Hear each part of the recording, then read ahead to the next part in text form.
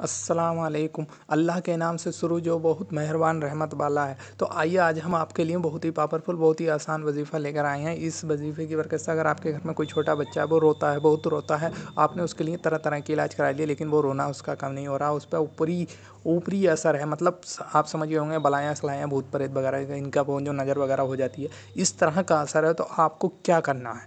आप इस अमल को करें, आपके बच्चे पर कभी किसी चीज़ का असर नहीं होगा, बहुत ही आसान वजीफ़ा। सबसे पहली बात, आपको अमल करने से पहले आपसे हम फिर कहेंगे कि आपको झूठ नहीं बोलना है। झूठ बोलेंगे तो आपको नुकसान हो जाएगा। तो या तबाबू या तबाबू या तबाबू, सत्तर बार पढ़ कर दम करें, आपका बच्चा इंशाल्लाह ठीक हो जाएगा।